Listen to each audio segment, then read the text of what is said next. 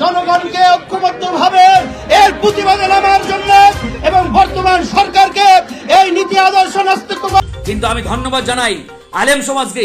এদেশের আলেম ওলামারা সবসময়, অধিকাংশ সবসময় হক এবং ন্যায়ের পক্ষে ছিল, আছে আসসালামু আলাইকুম ভিউয়ার্স, দেশ ও দেশের বাহির থেকে যারা আমার ভিডিওটি প্লে করেছেন, জানাচ্ছি আন্তরিক শুভেচ্ছা অভিনন্দন। আশা করি সবাই ভালো আছেন, সুস্থ আছেন, আলহামদুলিল্লাহ। তো ভিউয়ার্স, আগামী ডিসেম্বর বাংলাদেশের জন্য হয়তো বা কোনো একটা কাল স্বরূপ হতে পারে বলে আশঙ্কা করছেন বিএনপির বিভিন্ন নেতারা। অটোমেটিক্যালি তারা লাইভে এসে বাংলাদেশের সকল আলিম ওলামাকে সর্বোচ্চ সতর্ক থাকার আহ্বান জানিয়েছেন। কিন্তু কেন, কি হতে যাচ্ছে আগামী ডিসেম্বরে? আসুন সরাসরি এই বিষয়ে আমরা তাদের বক্তব্যে চলে যাব। তো ভিডিওতে যাওয়ার আগে ছোট্ট রিকোয়েস্ট থাকবে, যারা এখনও আমার চ্যানেলটি সাবস্ক্রাইব করেননি, নিয়মিত এমন তথ্যবহুল ভিডিও পেতে অবশ্যই চ্যানেলটি সাবস্ক্রাইব করে পাশে রাখবেন। তো ভিউয়ার্স আসুন স্ক্রিনে আমরা গণ অধিকার পরিষদের নেতা হাসান ফারুক হাসানের কাছ থেকে সেই তথ্যগুলো শুনে আসি। কিন্তু আমি ধন্যবাদ জানাই আলেম সমাজকে, এদেশের আলেম ওলামারা সবসময়, অধিকাংশ সবসময় হক এবং ন্যায়ের পক্ষে ছিল, আছে আমি বিশ্বাস করি, ভবিষ্যতে তোরা ন্যায় এবং হকের পক্ষে থাকবে। কিন্তু কিছু আলেম নামধারী, আওয়ামী লীগের এজেন্ট আছে এরা এদেশের নিরপরাধ, নিরীহ আলেমদের বারবার ভুল বুঝিয়ে বিপথে পরিচালিত করেছে। ডক্টর এনায়তুল্লাহ আব্বাসী একসময় একটি লাইভে বলেছিল যে আলেম শ্রেণি তিন প্রকারের। একটা হচ্ছে দরকারি, আরেকটা হচ্ছে সরকারি, আরেকটা তরকারি। তো যারা দরকারি আলেম, এরা সত্যিকারের ন্যায় এবং হকের হকপন্থী আলেম। আর যারা সরকারি আলেম, তারা তো বুঝতেই পারছেন, ওই যে আওয়ামী দালাল যারা যারা আওয়ামী লীগের সাথে লিয়াজো করে, আওয়ামী লীগের পৃষ্ঠপোষকতা করে সরকারের বিভিন্ন সুযোগ সুবিধা ভোগ করে আর এদেশের নিরীহ আলেমদের সব জায়গায় ক্ষতি করে, এরা হচ্ছে সরকারি আলেম। আর তরকারি আলেম কোনগুলো? সেগুলো হচ্ছে যারা সরকারের সাথেও আছে, আবার এই বিরোধী দলের সাথেও আছে। দুই জায়গায় এরা সমান তালে ব্যালেন্স করে চলে। এরা হচ্ছে তরকারি আলেম। এই তরকারি আলেমরা সবচাইতে বেশি ভয়ঙ্কর। এদের কাছ থেকে সজাগ, সতর্ক থাকতে হবে আলেম সমাজকে। এই হচ্ছে একটা আওয়ামী সরকারের ষড়যন্ত্র, ফর্মুলা। আর এটা যদি কাজ না করে, তাহলে আওয়ামী লীগ আরেকটা ফর্মুলায় আগাতে পারে। সেটা হচ্ছে, যখন বিরোধী সকল রাজনৈতিক দল ডিসেম্বরে রাজপথে নেমে যাবে, ঠিক সেই মুহূর্তে আওয়ামী লীগের ফিট করা সন্ত্রাসী বাহিনী রয়েছে। এদেরকে মাঠে নামিয়ে দেওয়া হবে এবং বলা হবে, তোমরা গাড়ি, ঘোড়া, বিভিন্ন জায়গায় অগ্নিসংযোগ করো, আগুন জ্বালাও, একটা আগুন সন্ত্রাসের মাধ্যমে কেওয়াস পরিস্থিতি তৈরি করো। এতে কি হবে? এরকম একটা অরাজকতা তৈরি করে সকল বিরোধী দলের হাই ভোল্টেজ নেতাদের নামে ডজন ডজন মামলা দেওয়া হবে, এদেরকে জেলে ঢুকানো হবে। যাতে বিরোধী রাজনৈতিক দলগুলো রাজপথে আন্দোলন সংগ্রাম গড়ে না তুলতে পারে। এই কথাগুলো কেন আগাম বলছি?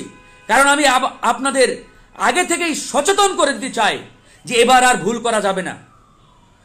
বিরোধী সকল দলের আন্দোলন সংগ্রামগুলো এখন পর্যন্ত নিরস্ত্র এবং শান্তিপূর্ণভাবে হয়েছে। বিএনপি বিশাল বড় সমাবেশ করেছে। বিভাগীয় সমাবেশ চট্টগ্রাম, খুলনা, আপনার ময়মনসিংহ, রংপুর। কোনো জায়গায় একটা গাড়ির কাজ পর্যন্ত ভাঙে নাই তারা। এটাই প্রমাণ করে যে তারা শান্তির পথে হাঁটছে। গণ অধিকার পরিষদ অসংখ্য আন্দোলন সংগ্রাম বড় বড় মিছিল সমাবেশ করেছে। কোনো জায়গায় পাবলিক যানবাহন কিংবা জনগণের ন্যূনতম ক্ষতি হয় এমন কিছু এখন পর্যন্ত করে নাই। আর আমাদের লক্ষ্য উদ্দেশ্য অশান্তির পথ নয়, আমরা শান্তির পথ চাই, শান্তির পথে রাজনীতি করি। কিন্তু আওয়ামী লীগ এই শান্তির পথটাকে অশান্ত করে তুলবে।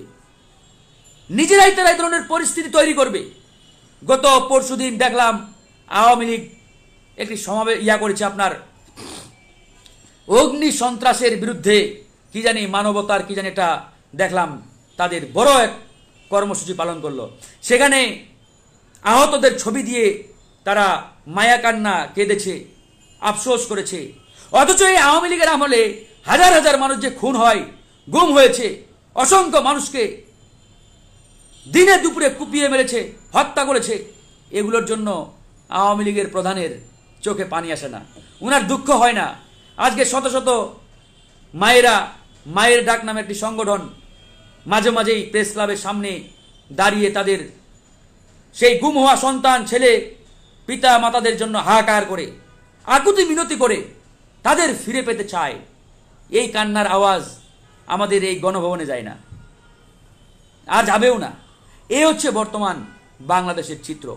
তো যাই হোক, ডিসেম্বরকে কেন্দ্র করে যেহেতু রাজনীতির মাঠ উত্তপ্ত হওয়া শুরু হয়েছে, উত্তপ্ত হচ্ছে, আমি আগাম আপনাদের সতর্ক বাণী কিংবা সতর্ক বার্তা যেটাই বলেন, আমি শুধু এতটুকু বলতে চাই যে এই মাফিয়াদের হাত থেকে যদি আমরা সত্যিকারের এই দেশকে রক্ষা করতে চাই, দেশের মানুষকে মুক্ত করতে চাই, তাহলে আমাদের সর্বোচ্চ সতর্ক অবস্থায় থাকতে হবে। তো ভিওর্স আমরা ফারুক হাসান ভাইয়ের কথাগুলো শুনলাম, কেমন লাগল আপনাদেরকে অবশ্যই কমেন্টে জানাবেন, এ বিষয়ে আপনাদের মতামত পেশ করবেন। তো এখন আমরা চলে যাব যে অটোমেটিক্যালি জামাতে ইসলামের আমির ডাক্তার শফিকুর রহমানের সন্তানকে কিন্তু গ্রেফতার করা হয়েছে গতকালকে। তো এই বিষয়টি নিয়ে টক শোতে ডক্টর ফয়জুল হক স্যারের সাথে কিন্তু বিভিন্নভাবে মতবিরোধ হচ্ছে। তো আসুন আমরা একটু সরাসরি সেই তথ্যটি জেনে আসি। জাতীয় নেতায় রূপান্তরিত হয়েছে সেই ডাক্তার শফিকুর রহমান। আজকে অত্যন্ত দুঃখ এবং ভরাক্রান্ত নিয়ে আপনাদের সামনে কথা বলতে হচ্ছে। ডাক্তার শফিকুর রহমানের সন্তান, তারই আর একজন সন্তান, তিনিও হচ্ছেন একজন ডাক্তার। সেই ডাক্তার রাফাত চৌধুরীকে জঙ্গিবাদের সাথে সম্পৃক্ততার অভিযোগ তুলে ভুয়া অভিযোগের ভিত্তিতে সিটিটিসি বোম ডিসপোজাল ইউনিট আজকে তাকে গ্রেপ্তার করে, করেছে। আমি তার তীব্র নিন্দা জানাই। আজকের বাংলাদেশের যারাই একটু ইসলামিক অর্গানাইজেশন, ইসলামিক অ্যাক্টিভিটিস করছে তাদেরকেই জঙ্গি তকমা লাগানো হচ্ছে? যারাই দিনের দাওয়াত দিচ্ছে তাদেরকেই সেখানে জঙ্গি তৎপরতা দিয়ে তাদের কার্যক্রমে স্তব্ধ করা হচ্ছে? আজকের এই বাতিলপন্থী লোকেরা যখন দেখেছে, বাংলাদেশের মানুষ বিভিন্ন নামে বেনামে ইসলামিক অর্গানাইজেশনের মধ্য দিয়ে এদেশের সাধারণ জনগোষ্ঠীর মধ্যে ভালোবাসা অর্জন করছে, এদেশের নাগরিকদের সাথে সুসম্পর্ক বৃদ্ধি করছে তখনই ওদের সমস্ত জ্বালাপালা শুরু হয়ে গিয়েছে। আজকে তাদের পরিবারগুলো থেকে শুরু করে বিভিন্নভাবে হেনস্থা করার জন্য এই দুষ্ট চক্ররা আজকের উঠে পড়ে লেগেছে, বন্ধুরা আমার। আজকের বাংলাদেশের এই কঠিনতম মুহূর্তে ডাক্তার শফিকুর রহমান, তিনি একজন জাতীয় নেতা, তিনি একটি দলের আমির তিনি একটি বাংলাদেশের সর্ববৃহৎ ইসলামিক অর্গানাইজেশন যদি ধরেন, সেই জামাত ইসলামের আমির হিসাবে নির্বাচিত হওয়ার পর থেকে আজ পর্যন্ত অক্লান্ত পরিশ্রম করে এদেশের সাধারণ মানুষদের মণিকোঠায় স্থান অর্জন করেছেন। এদেশের নিয়ম হওয়া উচিত শহীদ রাষ্ট্রপতি জিয়া রহমান উন্মুক্ত করেছিলেন।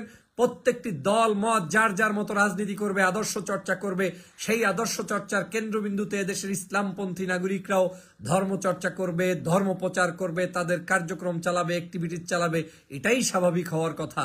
কিন্তু দুর্ভাগ্যজনক হলেও সত্য, আজকের এই জামাত ইসলামের আমির সাহেবের সন্তানকে গ্রেপ্তার করার মধ্য দিয়ে এটাই প্রমাণিত হয়েছে। যে আজকে যখন তারা এদেশের মানুষের জন্য কাজ করছেন, ধর্মের জন্য কাজ করছেন, সাধারণ নাগরিকদের জন্য কাজ করছেন, তখন এদেশের সেই বিন্দেশি দালালদের আজকের মাথা গরম হয়ে গিয়েছে। ওরা আজকের সহ্য করতে পারছে না, বন্ধুরা আমার। আজকে না হয় এই ডাক্তার শফিকুর রহমান সাহেব একজন নিতান্তই ভদ্র মানুষ, তার একজন সন্তান, তিনিও একজন ডাক্তার। এই ডাক্তার কখনোই স্বভাবতই কোনো জঙ্গি সংগঠনের সাথে সম্পৃক্ত থাকবে, এটা কোনোভাবে বিশ্বাসযোগ্য নয়। এদেশে যেভাবে আম- আমিনুলকে মামুনুলকে গ্রেপ্তার করে জেনা বেবিচারের সাথে সম্পৃক্ত করা হয়েছে। পৃথিবীর কেউ বিশ্বাস না করার পরেও তেমনি ভাবে আজকের এই ডাক্তার শফিকুর রহমান সাহেব যাদের পরিবারটা সম্পূর্ণ সাংগঠনিক হয়েতে বড় হয়ে উঠেছে, যারা জীবনভর জামাত শিবির করেছে, সেই জামাত শিবিরওয়ালা সংগঠনের লোকেরা জঙ্গি সম্পৃক্ততার সাথে কি কারণে যাবে, এই ধরনের ভুয়া, মিথ্যা অভিযোগ দেওয়ার কি যুক্তিগতা আছে, আমি কোনোভাবে খুঁজে পাই না। একজন ডাক্তারের সন্তান, তিনিও ডাক্তার ডাক্তার হয়ে উনি কি ওনার মসজিদে যাওয়া অন্যায়? ডাক্তার হয়ে তিনি কি নামাজ পড়া অন্যায়? ডাক্তার হয়ে কি তিনি দিনের পক্ষে দাওয়াত দেওয়া অন্যায়? এই ব্যক্তির বিরুদ্ধে কয়েকটি অভিযোগ করা হয়েছে। কি করা হয়েছে?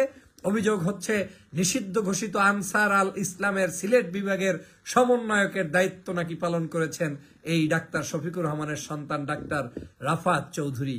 চরমভাবে মিথ্যাচার করে জাতিকে বিভ্রান্ত করে আজকের বাংলাদেশের মানুষের মন মগজ ভিন্ন খাতে প্রভাবিত করার জন্য ওরা উঠে পড়ে লেগেছে, বন্ধুরা আমার।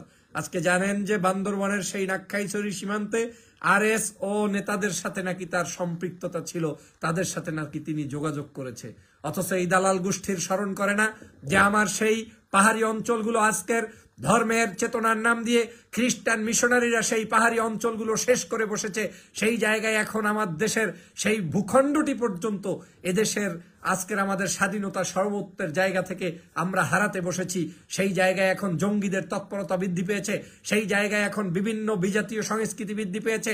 সেই জায়গায় একজন মানুষ মসজিদ নির্মাণ করে ইসলামের দাওয়াত দিতে গেলে তাদেরকে জঙ্গি সম্পৃক্ততার অভিযোগ তোলা হয়। অথচ বাংলার প্রত্যেকটি জনপদে প্রত্যেকটি ধর্ম এবং গোষ্ঠীর নাগরিকদের যাওয়া এবং প্রচার করার কিন্তু অধিকার ছিল। একমাত্র মুসলমান কোনো ব্যক্তি যদি কাউকে দাওয়াত দেয়, তখনই তাকে বলা হয় মানে আপনাকে সন্ত্রাস তাকে বলা হয় জঙ্গিবাদ আমরা ডক্টর ফয়জুল স্যারের কথাগুলো শুনলাম, তার কথাগুলো আপনাদের কাছে কেমন লাগল অবশ্যই কমেন্টে জানাবেন। তো আজকের ভিডিও এই পর্যন্তই, ভালো লাগল লাইক অ্যান্ড কমেন্ট করবেন, দেখা হবে পরবর্তী ভিডিওতে ইনশাল্লাহ আসসালামু আলাইকুম আ রহমতুল্লাহ।